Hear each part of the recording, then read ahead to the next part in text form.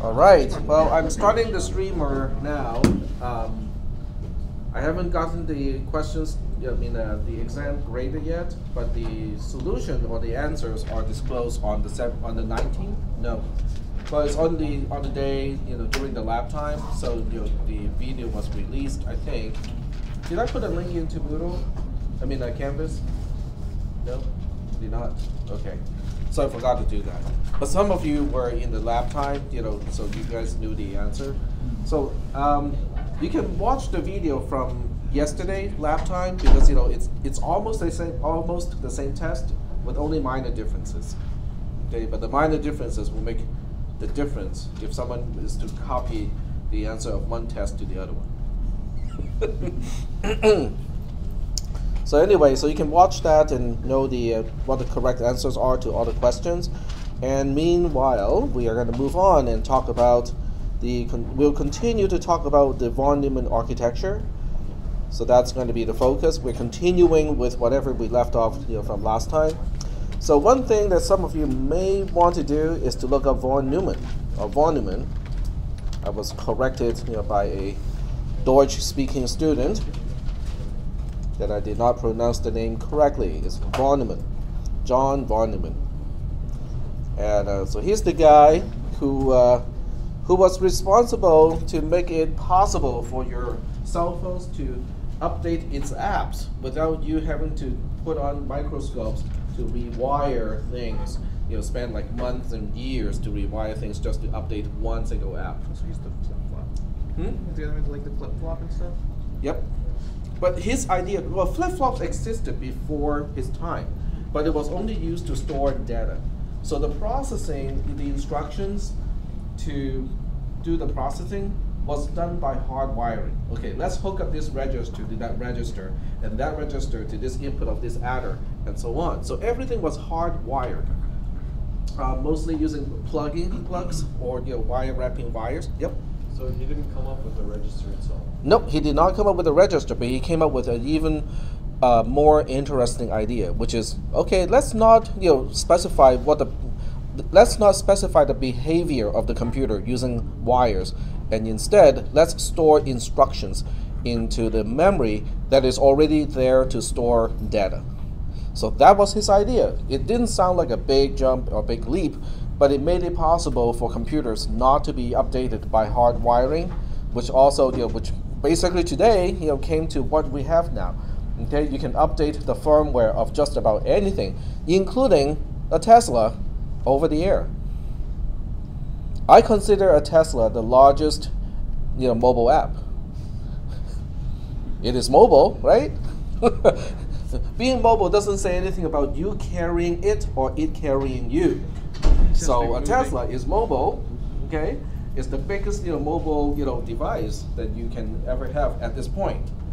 But that's going to be topped by autonomous coaches, buses, 18 wheelers, and so on.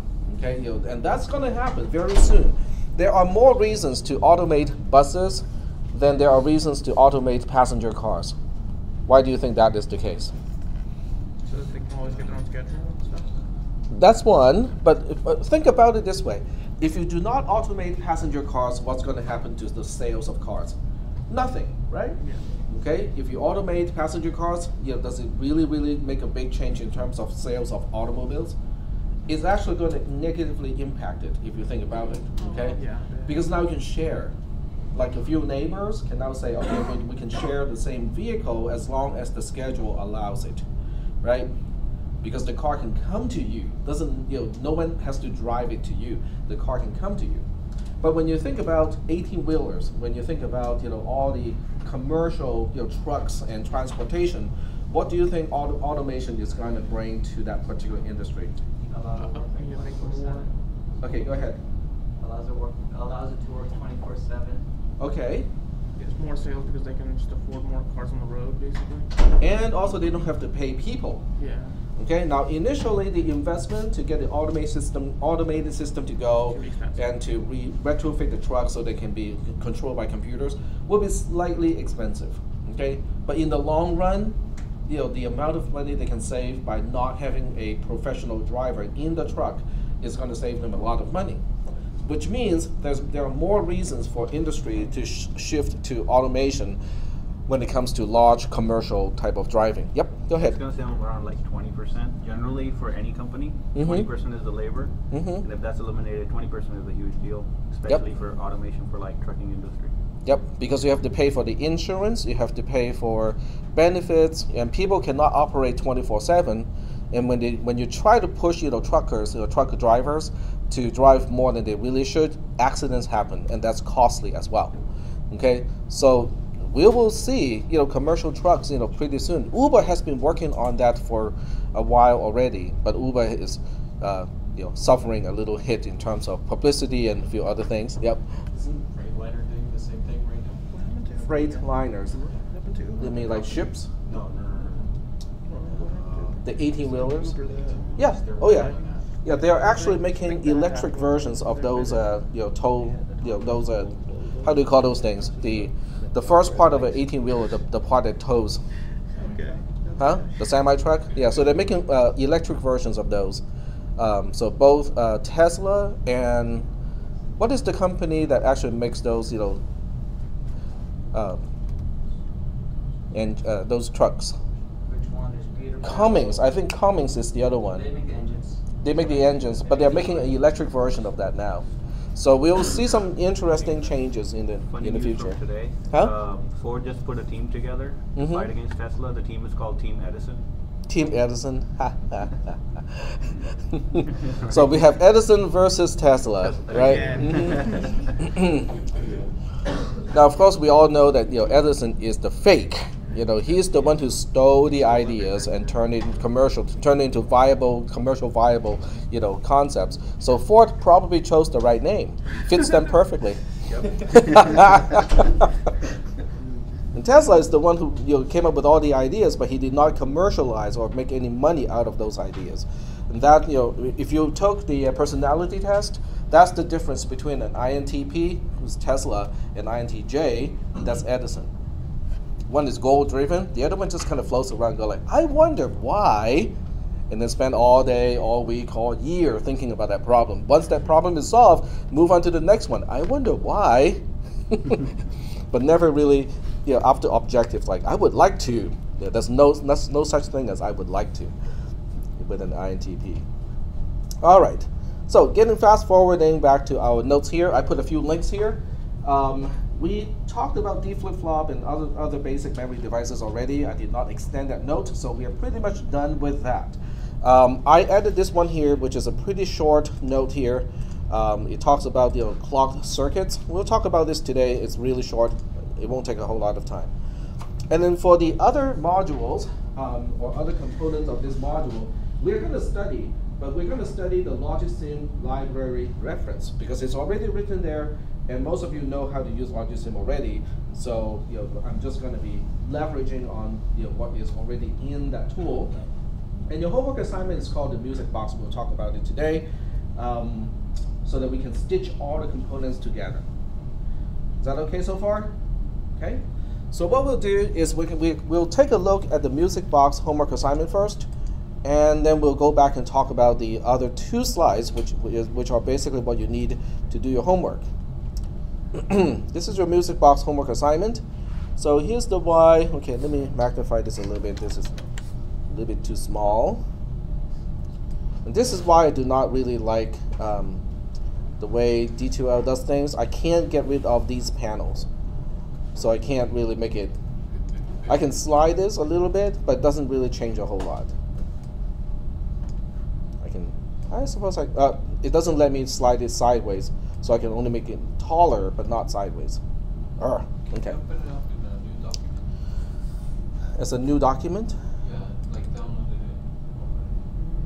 mm, not easily. I mean, there there are ways to do it, but not easily. paste into like Yeah. Notepad or something. Yep, that's the only way. Yep. Okay, but we can still do it like this.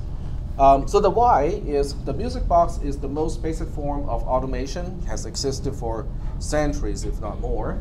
Um, instead of plugging the pins to make sounds like a real uh, music box, the music box that we are doing is only going to send some zeros and ones to some kind of output pins. Okay, but it's going to do something that's sort of fun, not really, but sort of. Okay, something that you can actually see. Um, all right, so is everybody familiar with the actual music box device? Is there anyone here who does not know what is a music box? Or the mechanism of a music box? It's Yeah. it has like drums on it and it has like little pins and turns, right? Mm-hmm. So music box mechanism, and we'll take a look at video. It's always fun to bring it up. I mean, this is really kind of cool.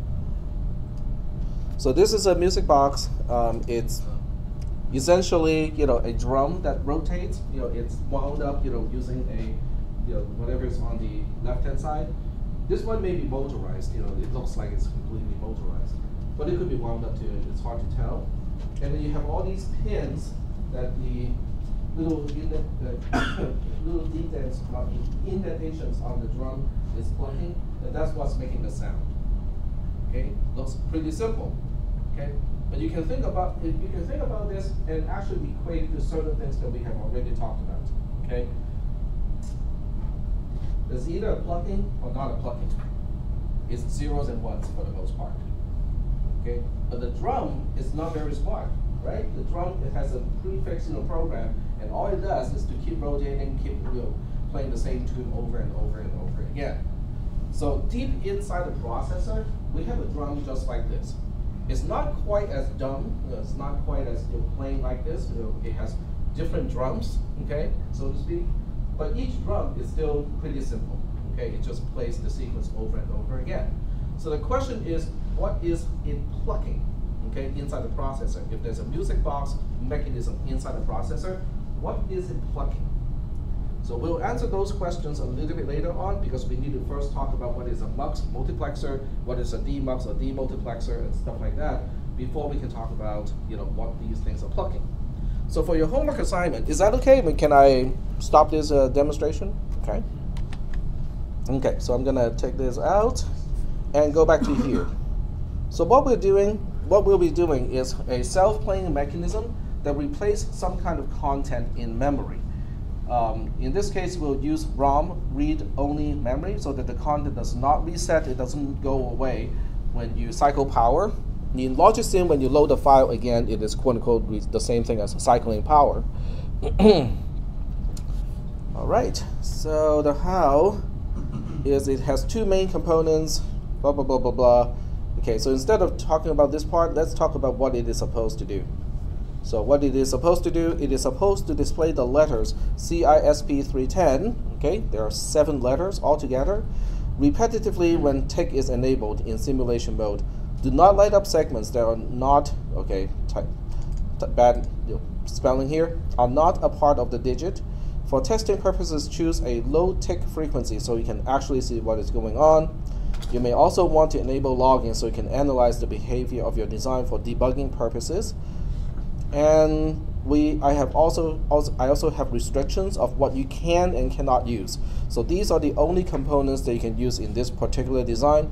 You can have one ROM, one register, one adder. It doesn't have to be your own adder. If you insist, you can use your own 3-bit adder.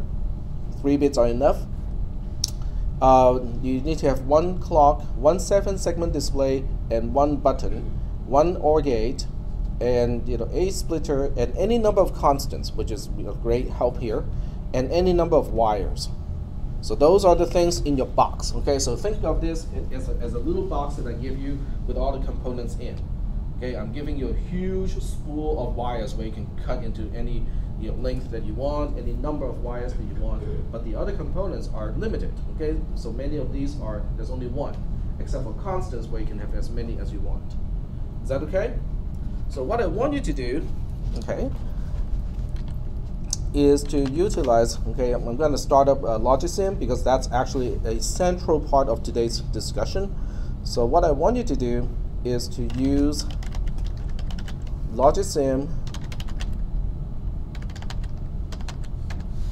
to make a music box and the key, the output of this is called a seven, seven segment display. This is a seven segment display and you know I know it's kind of faint but you can see that it has kind of like an eight inside, right? So each one, each straight line is called a segment. The period is a segment as well here. So we got one, two, three, four, five, six, seven, and that's why the name is called a seven segment display.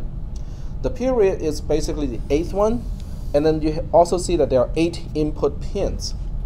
Okay, it may not be easy to see. Well, now you can see. I think you can see that there are eight blue wires. So depending on which one gets a one, that particular segment will light up.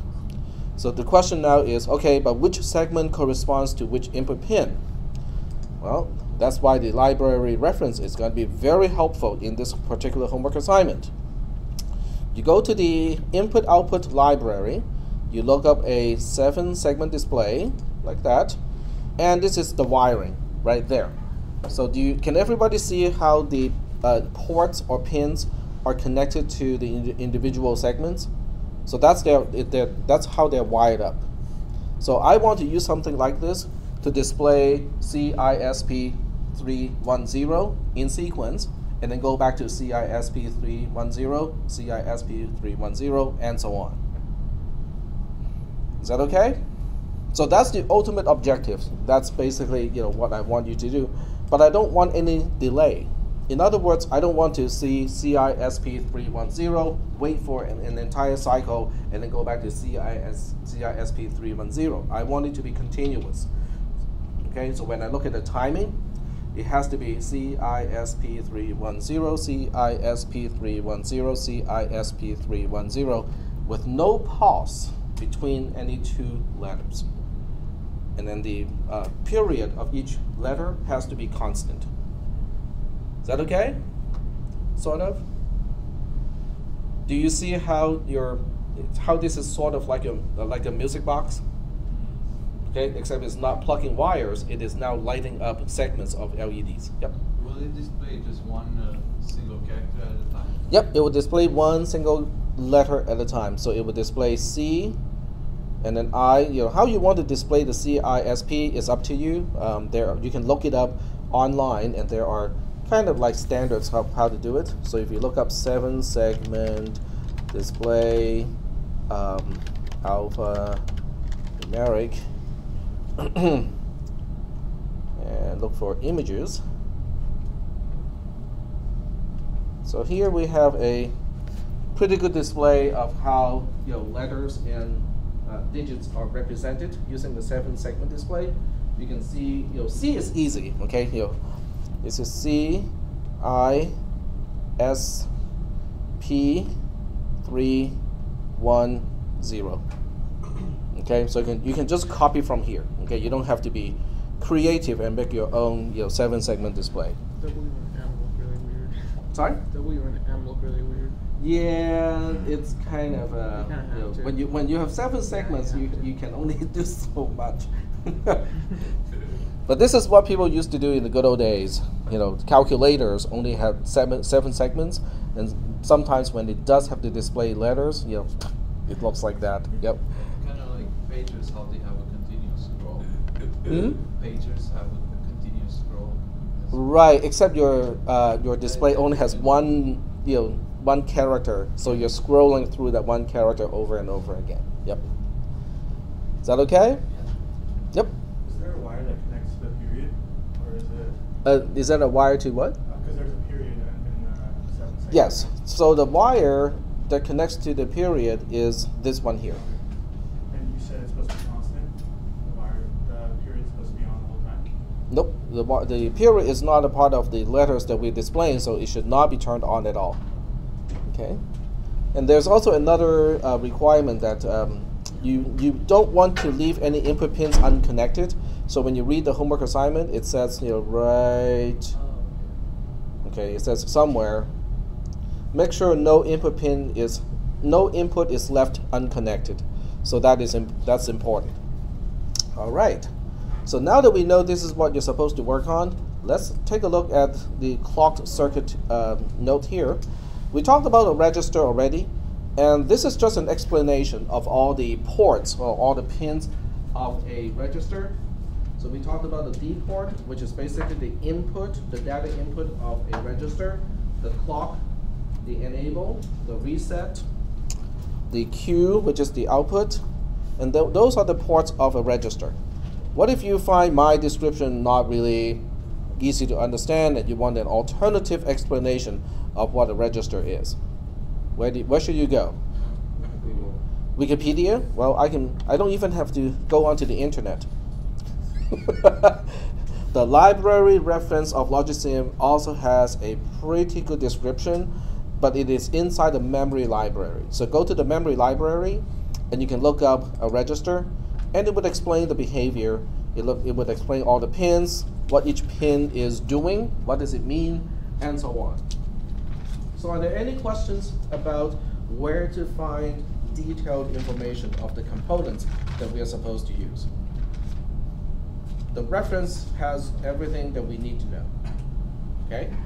If you read this and you say, okay, but I don't quite get you know, what they're saying about blah blah blah, let me know. Okay, so we can I can add to this explanation, but this is where you need to go to start with your quote unquote studying. Is that okay? All right. Some of you will say, but I want to print this out. Okay, I don't want to you know uh, read from my you know device because you know I want to do it. I want to do some studying on my tablet, and this doesn't work on the on the tablet. What should I do? Well, does it look like this is kind of uh, HTML to you? It is actually HTML. Okay, so the question now is how do we get to the HTML documents so that you can use a regular browser to open it, print out your stuff, you know, and stuff like that. Okay, so I'll teach you how to do it. So you go to a command line. I'm not sure how to do it in Windows, but in Linux, this is how you can do it. In Windows, probably be something very similar, but not exactly the same. So I go to, uh, let me see if I have that already. Yep, I, I have that folder already. So I'm gonna remove the folder called Logisim. Okay. Every jar file, what does jar stand for? Not as an English word, but in the context of an extension. It's a Java archive. Okay? So when we are talking about archive, it is usually compressed and also it may contain contain multiple files. It's like a zip file, okay? A zip file is a, is a, is a particular archive format. So in this case, it is the same. So when I say file, okay, this you can only do this in um, in Linux, but it tells you what kind of a file it is. A jar file is actually interestingly, it's also just a zip file. Okay, it's a special kind of zip file, but you can treat it as a regular zip file, which means you can unzip it. Let's give it a try, right? Okay, so I'll just say unzip logisim uh, generic file, uh, generic 2.7.1.jar and it will ask me do I want to overwrite all of these files? I'll just say yes or all. And there we go. Now this unzip you know, command may not be available in Windows but it, it, it's dealing with the same format as the Windows zip format that it can that Windows can deal with um, natively. Except when you look at when you right click on a jar file Windows will not say, oh, do you want to unzip this file? Because it is a uh, format that people usually do not unzip. So what do you do? You tell, exactly, you tell Windows, I know what I'm doing. I'm renaming the jar file as a zip file. then you can right click and expand it, okay? You can, it, it will unzip into its own folder, which is, I'll take a look later on. So is that process okay? You have to, in Windows, you have to rename the file, change the extension from jar to zip, and then you can just unzip it, okay? You can change it back to jar when you need to run the file, okay? So if you want to rerun the file, that's fine. But you can also see right here, okay, let me go to a file exploring, uh, file, file manager here so we can actually take a look at the content more easily. Okay, so we're looking at downloads. There we go. And we're looking at Logisim.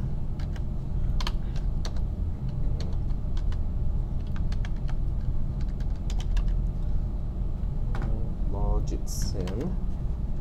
That's one. Where's the folder?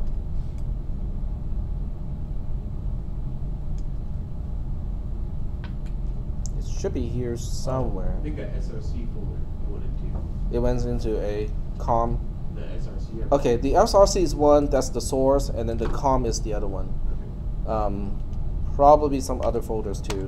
Okay, I mean, yep, you're right. So it, I did not create a subfolder first, so that's why it's kind of messy right now. So SRC is one. It contains all the source files, and there's a resources file, and also the Java X. You know, those are the actual class files already compiled into Java bytecode.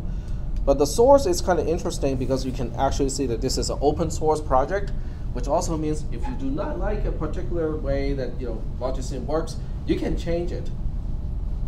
But whatever you turn in, you have to assume that a plain vanilla version of Logisim will be able to process as well. Okay. Okay. So what I'm really trying to do is to okay, let's get out of this. Is to find out where the HTML documents are located. So with in Linux, it's relatively easy because I can just do a search for files that ends up with HTML, and they are all in doc en. Depending on your preference of language, you can see. Okay, so it has Spanish, it's got Deutsch, it's got English, and so on. So you do have a few options here. So that means over here we go to doc doc right here, and then we have all of these you know, different languages. Uh, it has got Deutsch, German, English, Spanish. I think that's Portuguese. I'm guessing that's Russian. So you know, pick whichever one you know you want to use. Okay, you know, you, you guys get options. Got options here. There's no Chinese version though. I feel discriminated. It's an open source project, so if you want to contribute. Yes. Google Translate everything, right? Do a recursive Google Translate. All right, so when you go into EN, I'm just going to pick EN here. Go to HTML, and here's your index.html. That's where you start everything. So you go to library reference, you go to, it doesn't look as neat, okay, because it doesn't have a drop down box and stuff like that, but it does have everything. You go to memory library, you go to register, you click it, and now we have exactly the same document, but this time it's open inside a browser, which means you can just type Control P, print it, right? Mm-hmm. Or if you own a particular website, you can upload it to your own website or your own your web presence. Then you can use your mobile device to go there as well. Is that okay? I think this gives you a lot of you know options as far as you know what you can bring to the next exam because we know what the next exam is going to be about. So you might want to, to look at these documents and say, okay, I think this is going to be useful. I might want to kind of bookmark it at least so that I know I remember to print it for the next exam. Do we have any questions at this point? No questions? All right. If there are no questions, what we'll do is we'll continue with this note here. And with a register, uh, I'm going to use my version of the notes, you know, but you can read the other one. It, it's about the same. The D port or the D pin is a multi-bit input port so that the new content, so that new content can be specified. When you want to update a register, the D port, which is multi-bit, is where you need to present the new updated data. So, but when you present the new data, nothing is going to happen because it, it's waiting for two additional things to happen. It's waiting for the enable to become a one in the case of Logisim. So the enable pin, which has a label of EN in the schematic, is an enable pin. It's also known as a gate. Okay, so this particular uh, D flip flop is gated. So EN has to be a one. Okay, in order for the register to be ready to get updated. So you can have the enable pin being a one and change your data input, but still nothing happens. It's because it is also clocked. So when you when you look at the clock documentation uh, for the register, unless you change the clock edge direction, the default direction is a rising edge. In other words, the clock input has to experience a 0 to 1 transition, and during that transition, the register gets updated. Is that okay? All right. and then we have two other pins that are also useful, in especially in this homework assignment. One is called reset. The reset pin is um, labeled zero in the schematic. It is also called clear, you know, by the uh, documentation. This port usually is active low, okay, um, which means you know when it's it, when they experience a low signal, it means you know to reset. Um, in the case of Logisim, it is active high. Okay, so you might want to make a mental note about this. This is for the general type of register, but for the register in Logisim, it is active high, which means when the reset pin is high, it forces the content of the register all the way to zero. Every, all, every single bit is now forced to zero. It does not need to wait for enable, does not need to wait for clock transition, it just does it right away. Is that okay? Q is the output, so whatever the content of the register is storing, it is always going to output in the output pin Q. So the next section, are there any questions about how to use a register? Yep. Uh, question about the reset. Mm-hmm. So I actually um, did the schematic for the register that she had on the uh, notes. And uh, so the reset, it's supposed to be an active. low- Active high. Active high the whole time, right? For Yep. it to work. In the notes here, in the schematic that I gave you guys, that's an active low type of a reset. But I also kind of mentioned how to change it to active high, you know, by just you know changing a few gates. Yep. But nothing, uh, nothing works better when it comes to trying to understand how these things work than experimentation. So what we'll do is going to be we'll pull a register. By default, it is 8-bit wide. It is a rising edge. So we'll just keep all the defaults in this case. Here's my input pin, multi-bit input pin for D. So we need 8 bits here to match the uh, number of bits in the device, like so. We have one bit of input for enable. So this one is going to enable right there. This is clock, okay? Clock doesn't really have a label. Instead, it looks like a little, kind of like a inverted V symbol. That's your clock. Now for clock, I would suggest, you don't have to do it this way, but I would suggest that you use a clock uh, device here. This is called a clock device. It looks kind of like a pin, except the inside looks like a, a square wave. So I would connect this one here because it's kind of cool about you know, what we can do with this later on. This is a zero or the reset or the clear pin, you know, however, however you want to call that. Another input pin connects to this, and then we have an output uh, 8-bit output pin connected to the D port. So now we have everything in the register connected to some kind of external signal. Are we doing okay so far with this? Okay. So let's say we want to store something. If you want to store something, I'm going into simulation mode. So if let's say we want to store 0011 and then 0101 into the register. And by the way, what would that look like as a hexadecimal number? You got a five, right? Three five. That, that is correct. Three five is the hexadecimal um, representation of that particular 8-bit pattern. This becomes really handy because Logisim displays the content of the register itself in hexadecimal here, and that's why you only see two digits. But nothing is happening right now because the enable is low, which means I can clock all day long and nothing is going to happen because the enable is low. So, and also the, the, um, the clear pin is a low, which means we are not attempting to clear the content. Remember this one is active high and not active low.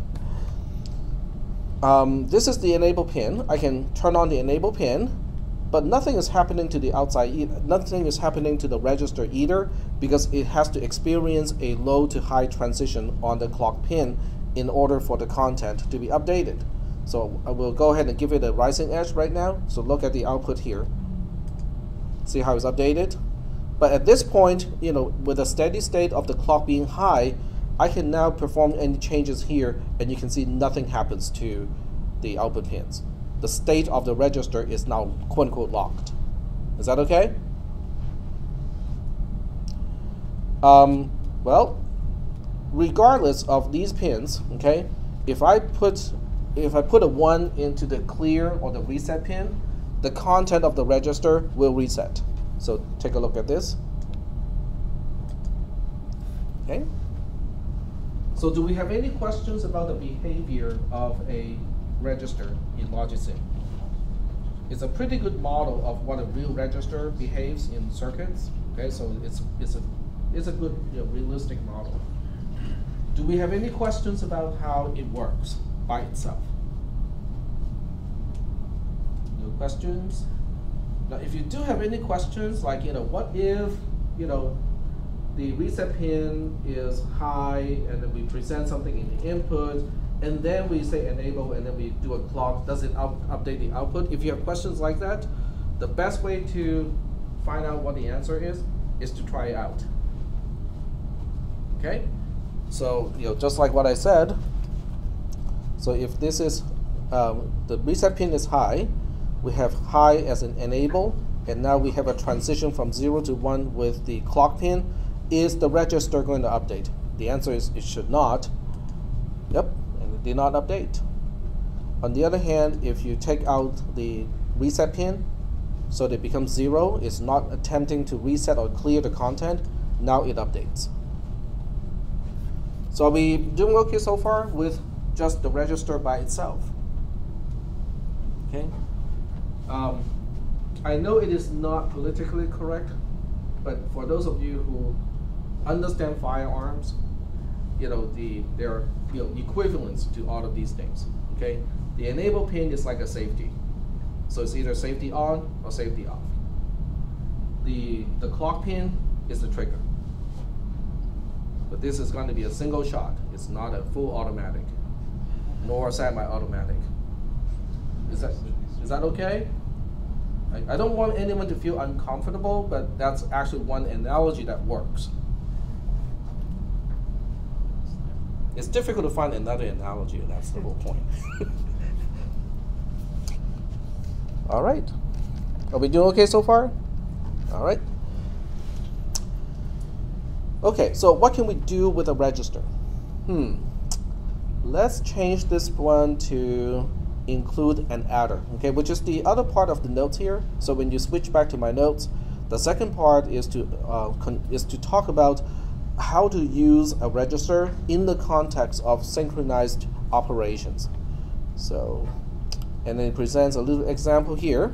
So we'll go ahead and implement this example, which you will find useful in your homework. So what we'll do is we're going to include an adder.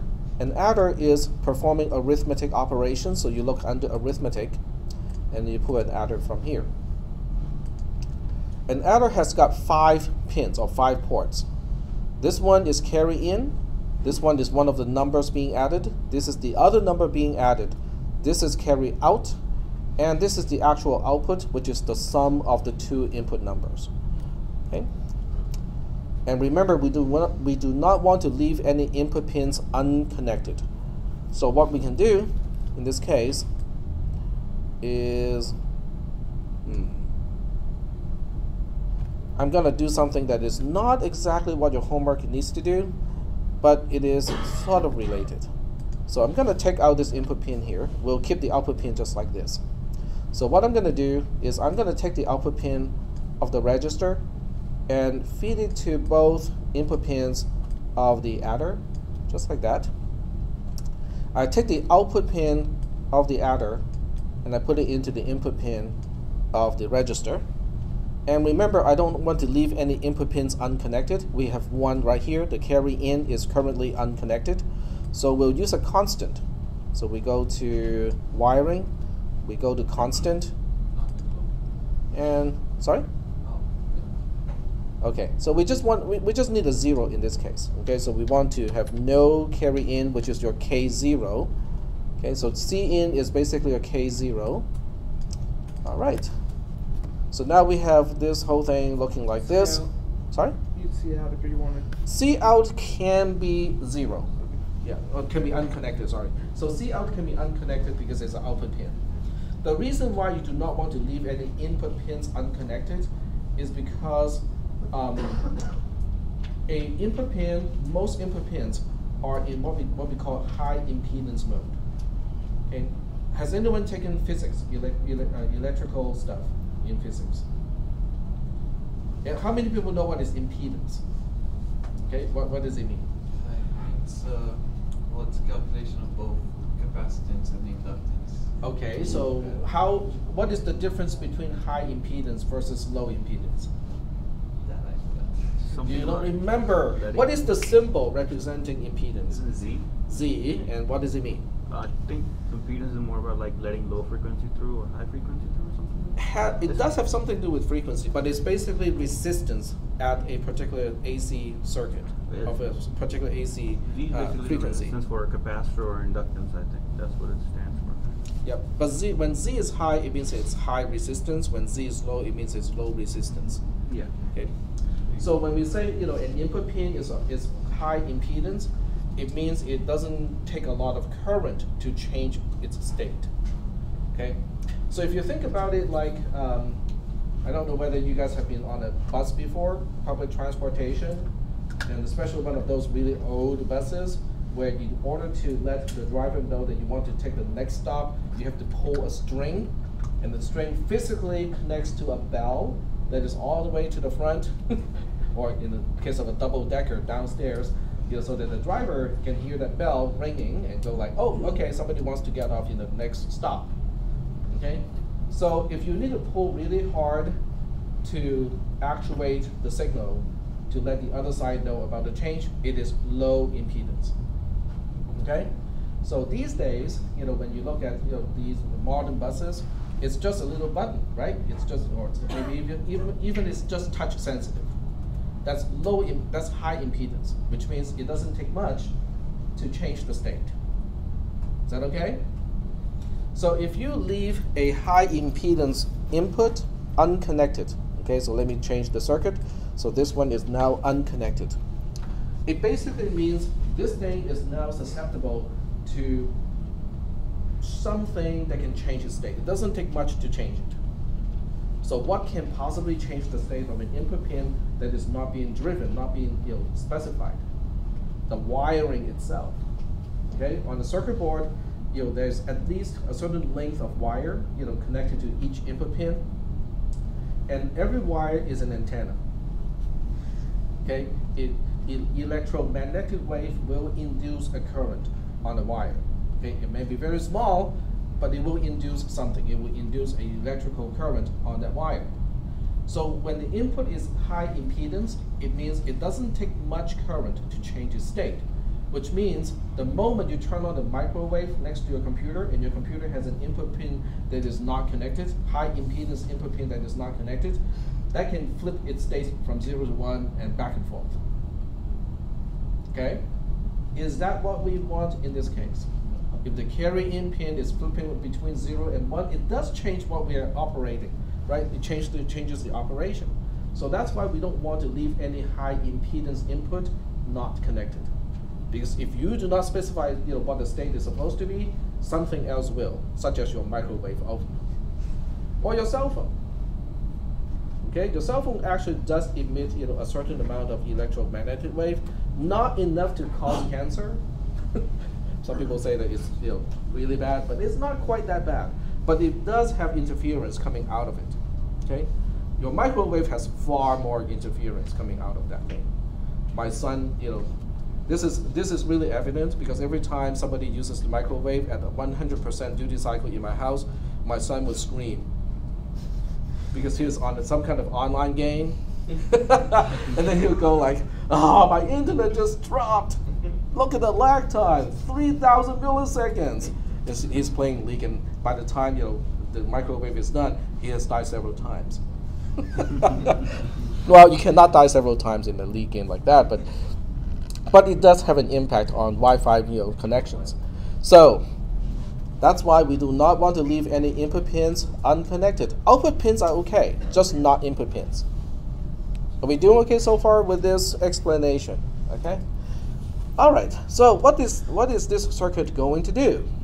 Well, before we do anything, let's go ahead and figure out what this is going to do with this number already here, and just say, okay, what happens when we clock this again? Now remember, this is rising edge sensitive, which means right now it's not going to do anything. So we have to drop it back to low again. But the next time I clock it, it's going to do something. But you want, I want to ask you, what is, what is it going to do? To be even more specific, what is the current output of the adder? That's the question. What, what is the adding? The, the adder is active the whole time, okay? You cannot disable an adder. The, the, an adder doesn't have enable, it doesn't have a clock. It just says, give me some input, I'll give you the output. So right now it does have some specific input. What is the output? Okay. What do you think? It's good, it's good. It's doubling. Okay, very good. So doubling is easy to see when we're dealing with binary numbers because it is the same thing as left shift by 1. So we are expecting this wire to have 0, 1, 1, 0, 1, 0, 1, 0. Is that making any sense? Because it is, we are adding that number to itself, so the output should be that. Logisim is very good at that. Okay, when you want to find out what is on a particular wire, what is the state of a wire, even if it is a multi-bit wire, you just click on it. And we see exactly that 0, 1, 1, 0, 1, 0, 1, 0, which is 0, 0, 1, 1, 0, 1, 0, 1, left shifted by 1. Does that make any sense? So given that the input of the register has this particular bit pattern, given that enable is already a 1, when I transition the clock from 0 to 1, what do we expect to appear here? The input should become the output, right? Okay, so let's clock. Oh, clock. There we go. Yep, so it does change. But this also, quote unquote, yeah, go ahead. Uh, It's only changing by one uh, single uh, multiple of two because it's only does it while it rises. Yes, that's exactly right. Okay, so that's a very good question because I think the source of your question is basically asking why is this not moving by itself, right? Because you know the the the adder is now adding this particular number to itself. So this wire, the wire going into the input, is now you know left shifted one more time, which is one one zero one zero one zero zero. But how come the register is not changing? Well, because the rising edge is a one-shot deal. Okay, once the rising edge is done, the register is now quote unquote not paying attention to the input anymore. So the input can change to whatever it needs to, or whatever it, it can change in any way, but the register is not going to update because we are not experiencing a rising edge anymore. Anymore. Is that okay? So that's exactly why that is the case. Yep. Uh, is this gonna lead into multiplication? Um, you can use a clocked circuit to do multiplication or division, but it doesn't need to be like that. A division can be done by multiple adder and subtractors, um, and not rely on the clock to clock things.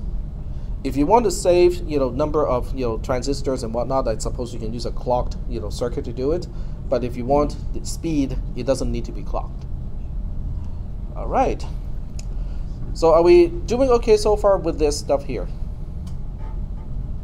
So if we clock it continuously, eventually this becomes zero. Because every single time it clocks, it is is padding one zero to the right hand side and shifting everything to the left hand side. So eventually we'll see all zeros you know, shifting in and there won't be anything left in that register. Is that okay? Making any sense? And to automate this, okay, to make this go by itself, you can go to simulation. Make sure simulation is enabled, which is by default. But you can also go to click. Uh, you can click uh, tick enabled, and this is a property that applies to a clock pin. In other words, this clock pin here, the pin that looks like a, square wave, let you change the mode from uh, just single single taking using your using clicking the uh, the pin itself. If you enable tick, that means you know the system will take it automatically, and the tick frequency is also controllable to a certain degree.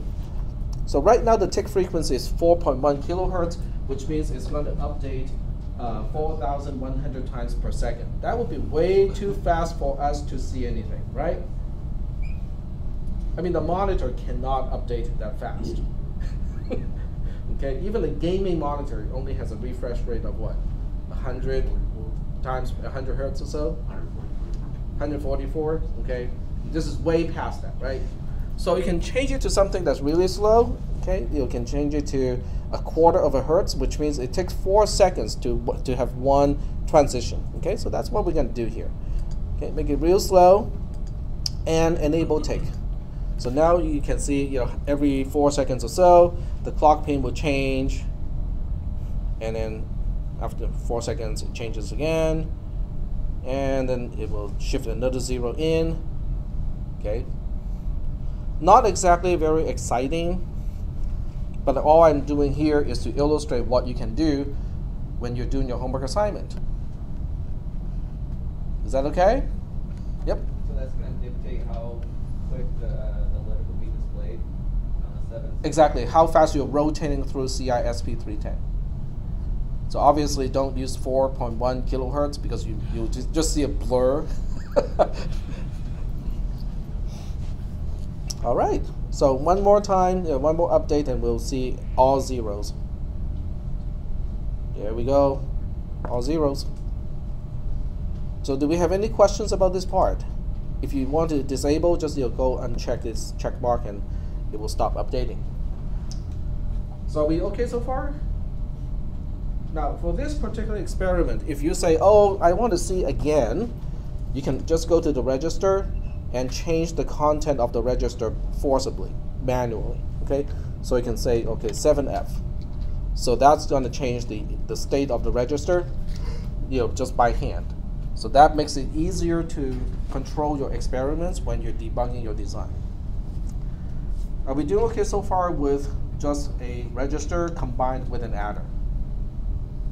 All right, so the next component that we want to introduce is called a ROM or read-only memory. So you can probably expect it to be in the memory section.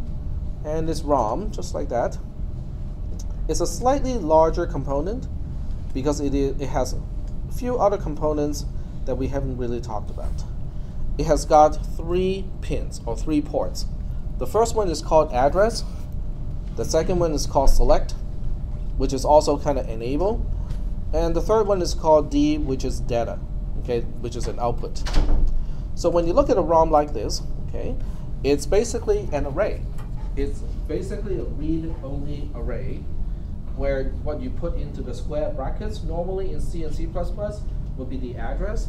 What comes out as the result of indexing into the array is D. Is that okay? All right. So if I were to give this particular ROM a name, okay, I'm just going to call this R, R for ROM. So that means, okay, let me use a mouse pad here for just you know, kind of documentation on the side. So given this is the way we look at this, um, D is basically the same thing as A bracket, whoops, sorry, R bracket A. Is that working? Because I'm just trying to use notation that you should know already from your programming classes. You basically say that A, or whatever you present to port A, is the address. Okay, it controls which cell inside the ROM that we want to address. Whatever is addressing, the content of that cell is going to become the output D, assuming enable is a 1. If enable is a 0, then it's not going to output anything, it's disabled. So is that okay so far? Okay. So we can play with ROM a little bit, or we can also read up the documentation on ROM. So you go back to the uh, library reference of Logisim, and this time we go to memory device or memory library, go to ROM, and it has the same kind of explanation. A selects which of the values are currently being accessed by the circuit. D is outputting the value at the currently selected address. And then cell select, which is enable, is if you have just one ROM, one ROM module, ignore this input. You want to make it one all the time. If you have multiple ROM modules in parallel, you can use this input to enable or disable the entire ROM module based on whether the value is 1 or 0. Okay, so let's play with this one a little bit. We'll use a an input pin to specify the address. And by the way, you can you also have full control over how wide you want the address uh, bit to be, and also how wide you want the data bit to be. When you change the address, you're changing the number of locations in the ROM. In other words, if you change the address to only 4 bits, then you only have 2 to the power of 4, which is 16 locations inside ROM. When you have 8 as the address, that means you have 2 to the power of 8, which is 256 locations in the ROM. Is that okay? So for this demonstration, I don't need a whole lot, so we will switch it to 4. This is the data width, which is basically saying, okay, what is the width of each location? A determines how many locations, D determines how big is one location. Are there any questions about this part? So they are not linked in any way. So you can have four for data bit, for address bit, excuse me, only have 16 locations, but each location can have like all the way up to, let me see what is the maximum here, it can have up to 32 bits per location. Okay, I don't need that many locations. Uh, maybe I just need you know seven for your seven segment display, right? Okay. And then the content is something that you can click. And right now we see here in the um, content editor, it allows you to specify what goes into the memory content of this particular ROM. In this case, it only gives you one single row because one row has 16 items and the entire ROM device only has 16 locations. Is that making any sense? Okay. So let's put some random content here. This zero here, which is all by itself, is indicating location zero.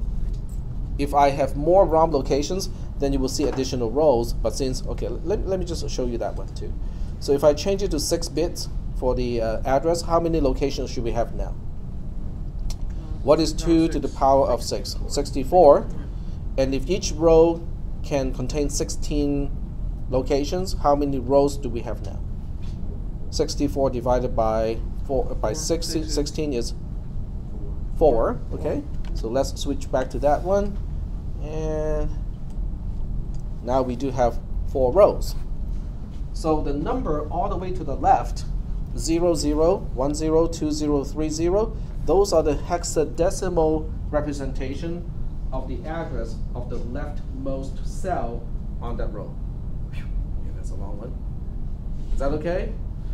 And you can you can click on each one and change the content. So you can change, let's say, change this one to one two, uh, change this random place to, you know, six F. But because we only have seven bits, we cannot have eight something because the 8 for the most significant uh, hexadecimal digit suggests that bit 8, it, bit 7, excuse me, bit 7 is a 1. But we don't have bit 7. Each location only has 7 bits, which means the most significant bit is only bit 6. So that means if I try to enter uh, 8F in this case, it doesn't like it.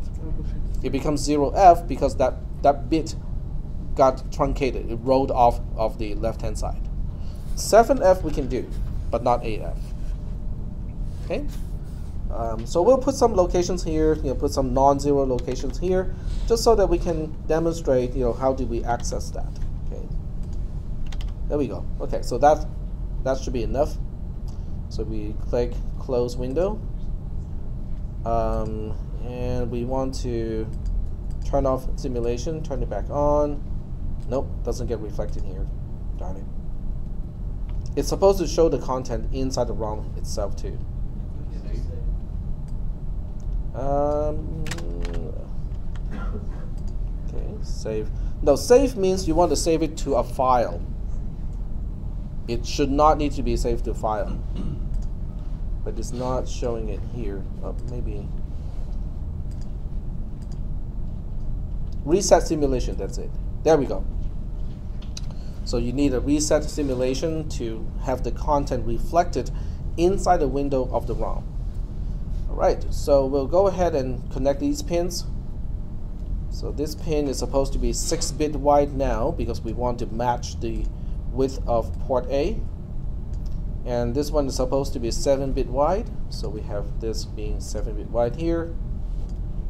And change it to 7. There we go. And select is by default um, a 1, but this is an input pin again. So we should not leave it alone. We should always specify the state of an input pin. So we go back to constants and just put a 1 here to make sure that we always specify that this device is a 1, is selected. The select pin is a 1. All right, so is that okay so far? What happens, what should I do if I wanted to display 7F on this side? 7F, by the, by the way, in binary is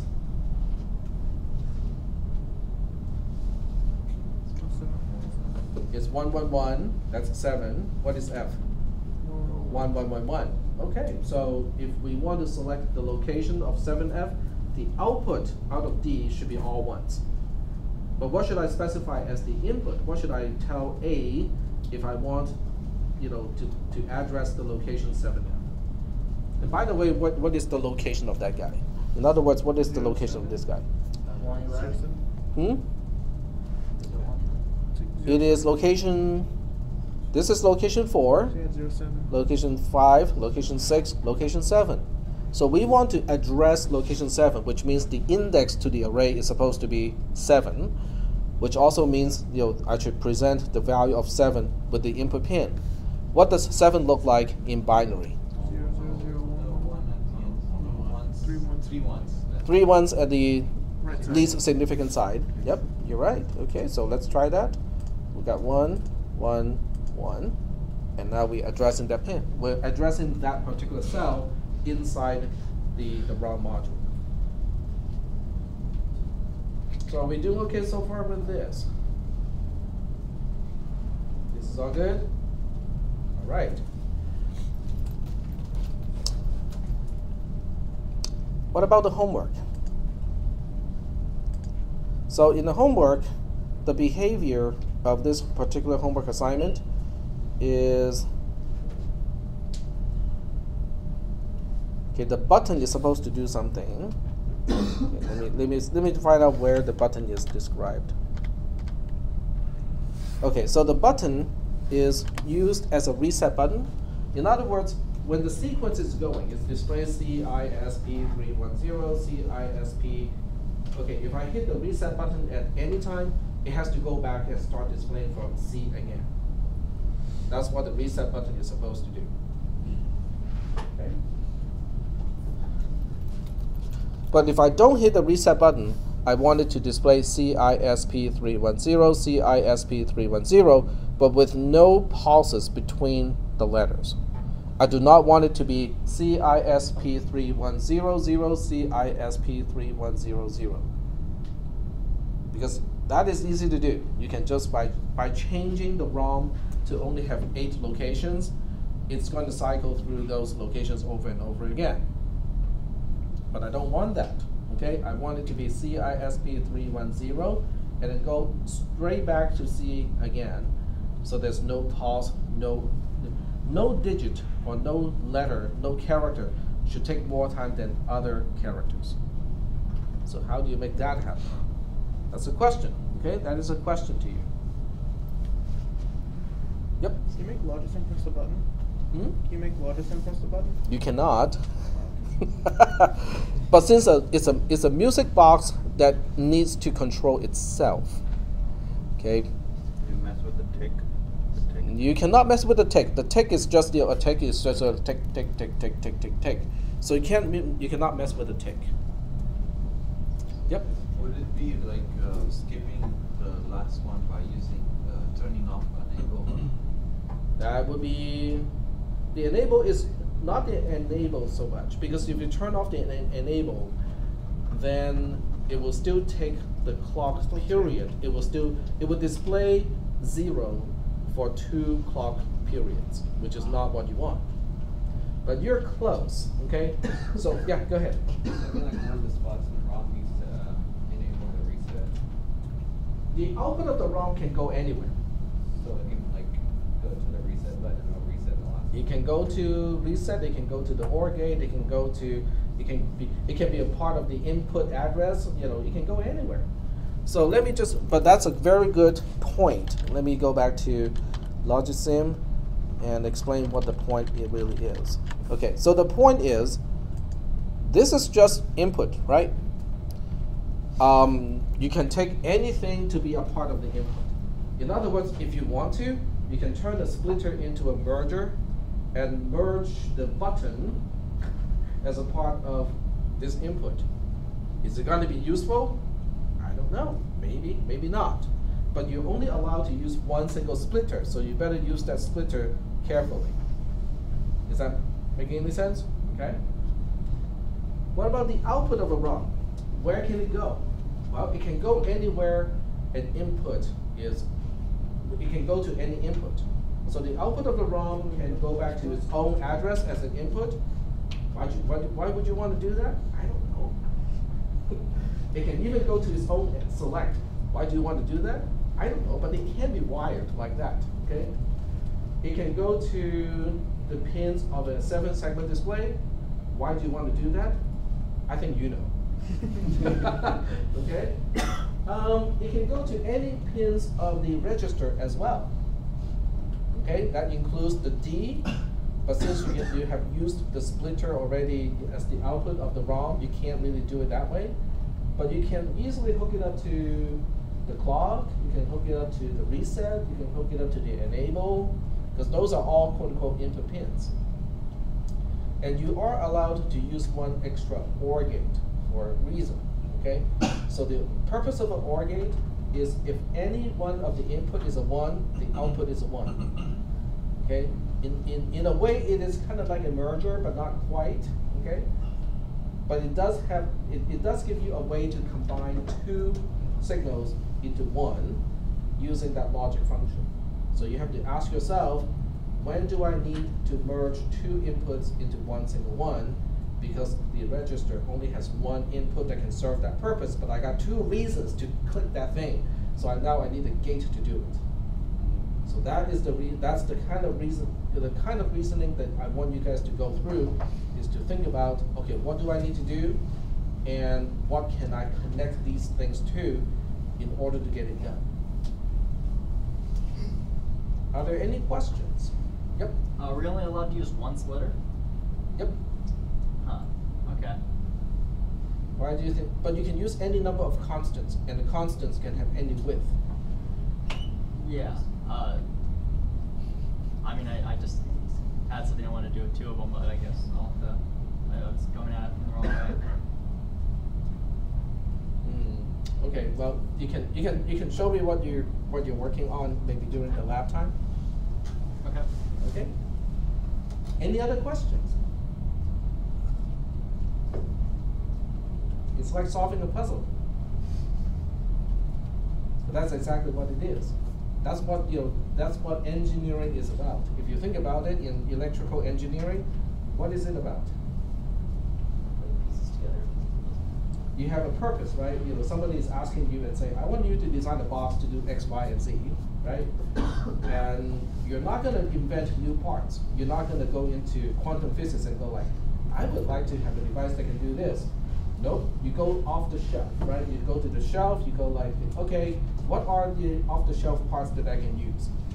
And then you say, okay, then how do I connect and utilize these parts to get that XYZ done? That's engineering, which is what you're doing with this homework assignment. I give you a box with certain components, and then you have to figure out how to connect those components to get the job done. So you have to think about functionality. What pin can do what, okay? So after you understand what the homework assignment wants you to do, then you go back here and you ask, what are these pins inside in, into a register? What are these pins to an adder? What are these pins to a ROM? And which one can do what? So you're trying to kind of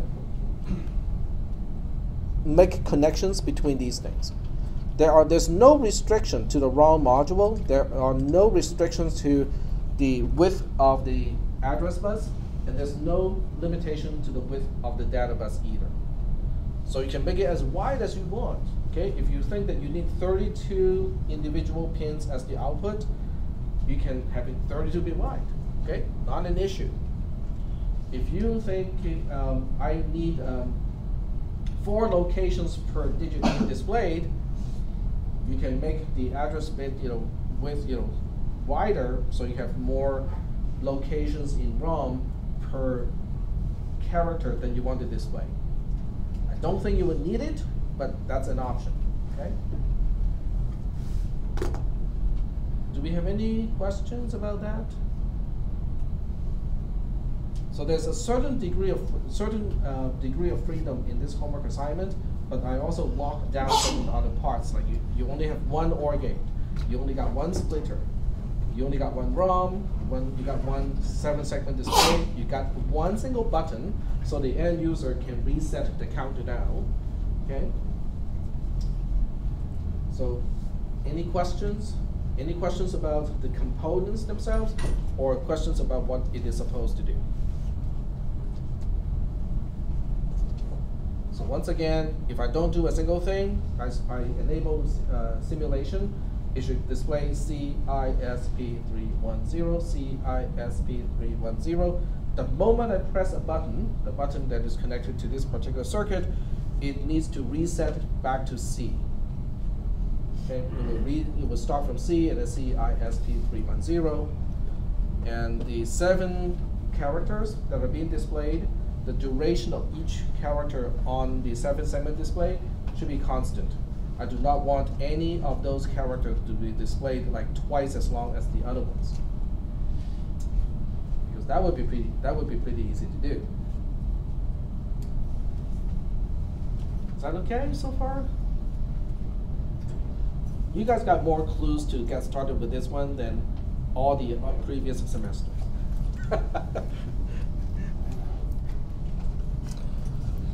And you got one week to work on it. I think that's quite a bit of time.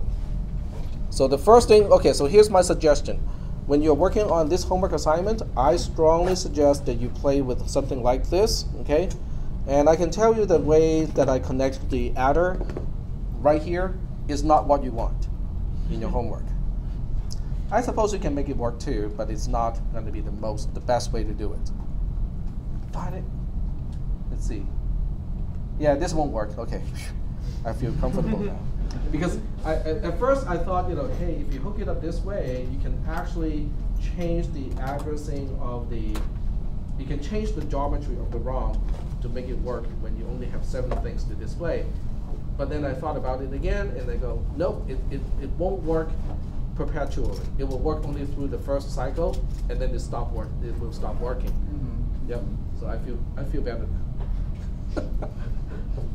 So this is not the right way to hook up you know, the register and the, and the adder. So you kind of have to figure out you know, how you want to hook it up. I can almost also tell you that um, you can probably do it in about the same way with only minor differences to what we have here. You might need one more constant, and then the wires will be connected slightly differently. Okay. Any questions? No questions? All right. Well, this homework assignment is kind of important because this becomes the microcode engine of a processor. Okay, so this just to give you a um, uh, bigger picture, okay, of how this is utilized. So inside the, your processor, so you would think that when you write a program in C, it gets compiled and it gets into binary code, the binary code is executed by the processor. Yep, that is true. But when you when the processor executes a single instruction, that single instruction is broken down into even smaller steps, and those smaller steps are called microcode. Okay, and in order to step through the microcode, like click, click, click, click, it's a mechanism that is what we're doing here. It's a little music box that goes through all the bit patterns, you know, to go through all the uh, steps to execute a single instruction. To give you a preview of what we'll be talking about on Thursday, okay, ah, wrong link here. So what we'll be talking about on Thursday is the other components that we need to talk about before we can kind of talk about how your music box is going to be applied inside the processor. So we'll, talk, we'll study how RAM operates um, based on the documentation of Logisim library. Okay, RAM is different from ROM only in one minor way. What do you think that is? The O becomes an A. but the actual words making up RAM and ROM are quite different. ROM is read-only memory. RAM is Random. random access memory. Exactly. So random access doesn't quite tell you what can you can do on top of what ROMs can do, but RAM can store content. You can actually dynamically change the content of RAM, but not ROM. Okay, so we'll study how RAM operates on Thursday, and we'll also study what is a MUX, a multiplexer, and a DMUX, which is a demultiplexer, because those are very, very important components inside the processor. It gives you the ability to say, hey, I want this register to pay attention, and it connects to that part of the RAM, and blah, blah, blah, blah, blah. It, it helps you establish connections between components inside a processor. How many people have watched uh, Thomas, Thomas Train when you were a younger person? Okay? So, you know, with railroad, you got switches, right? Okay? Multiplexers and demultiplexers are switches. So if you look at a processor as the island of Thomas Train, and you look at each train as a signal that has to go from one place to another place, and you look at each station as one thing that can possibly do something, like storing something, retrieving something, doing some calculations, then the processor is really about which train should go where because that's what, you, what you need to do. So the, the how do you call that person, the, the fat guy who's you know in charge of the whole thing? Huh? The, no, no, no, not the conductor. But in that show, there's a there's a particular person fitting that role. I feel like they actually called him like the fat conductor or something. Like, He's not the conductor because he's not on the train itself. he, he's like the engineer. Okay. The fat controller. Controller, not conductor. He's the controller. So Sir Topham Hatt. That's that's it. That's his name. So his job is to figure out the patterns. Okay. At what time do I need to switch this switch from here to here so that this train can go from this station to that depot and that train can go from that depot to this station and so on and so forth. So what your microcode engine or your music box is really doing is automating the fat controller. When the island is your processor, when each station performs a particular function, and each train is a signal going from one station to a depot or some other construct, then the fat controller is the conductor of the entire thing. He's basically saying, that switch needs to go from A to B. This switch needs to go from you know C back to A, so that this train can go from here to here. This train can go from here to here, and so on. That's how your processor operates. So that's kind of a broader picture you know, of what we are doing here. Um, I guess this analogy can work really well for the rest of this semester. So I might bring back some of my toys. You know, my kids used to play with the Thomas Train. We got Henry, we got Thomas, we got all the characters. I hope we haven't put, you know, give, given those away. but that's basically what we are talking about. You know, by the time we talk about multiplexers the, the multiplexers on Thursday, you will see how they resemble switches in the, in, in the sense of a railroad, you know, kind of switch. Right. So are we are we good so far? Don't you guys get the urge to watch those, you know, Thomas Train, you know, episodes again? Especially with uh, George Carlin uh, doing the narr- uh, being the narrator. Those those were particularly fun because he was able to refrain from using any curse words.